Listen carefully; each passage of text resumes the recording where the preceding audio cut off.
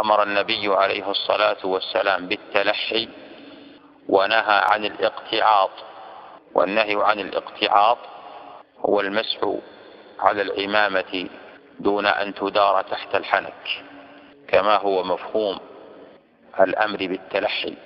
إن هذا الحديث المذكور لا يعرف له مستند ولا يعرف من رواه من أهل الحديث.